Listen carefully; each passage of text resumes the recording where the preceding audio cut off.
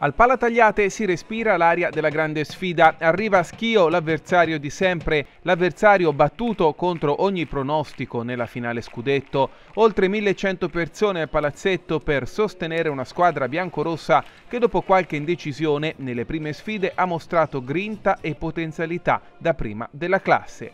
Coach Barbiero recupera la Ududenko che non parte nel quintetto base ma che dalla panchina può essere l'arma in più.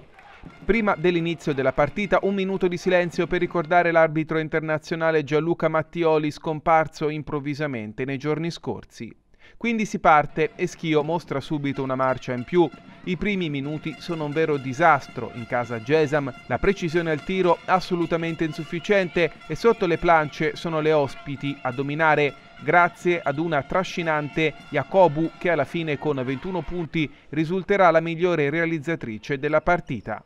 Alla fine del primo quarto, sotto 23-6, coach Barbiero prova a strigliare le sue e a cambiare qualcosa, ma l'inerzia della gara è questa. Lucca mai capace di sfondare in avanti con efficacia, Schio implacabile davanti e dietro. Il divario si allarga fino al più 25 di fine tempo.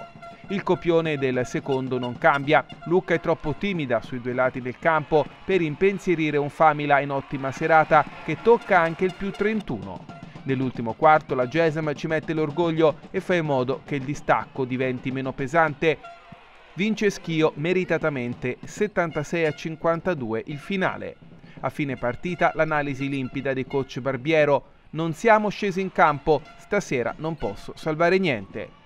Adesso servirà archiviare in fretta questo stop e pensare già alla prossima sfida, molto difficile, di nuovo al Palatagliate, per riscattarsi subito di fronte al proprio pubblico contro San Martino, una delle sorprese del campionato.